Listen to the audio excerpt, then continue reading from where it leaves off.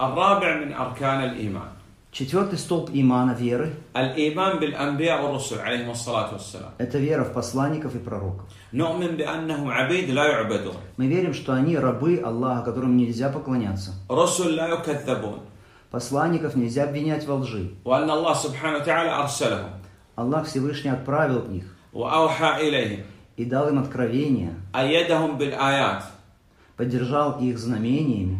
أدوا الأمانة التي ائتمنهم الله سبحانه وتعالى Они выполнили ту д- миссию, которая была доверена им Аллахом. نصح الأمة أكمل نصح كان من الأنبياء والرسل عليهم الصلاة والسلام Они проявили искренность وبلغوا كل ما أمرهم الله سبحانه وتعالى بتبليغه и донесли все, что Аллах приказал им донести до людей. جاهدوا بجميع أنواع الجهاد وبذلوا غاية الجهد في تبليغ هذا الدين Они усердствовали, прилагали все усилия для донесения этой религии.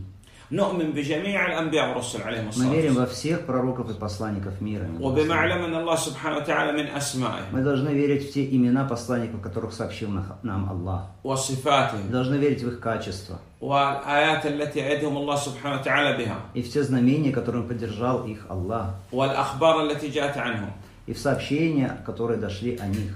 أول الأنبياء والرسل نوح عليه آه، آدم عليه الصلاة والسلام أول الأنبياء آدم عليه الصلاة والسلام Первым пророком Наби является Адам, мир ему.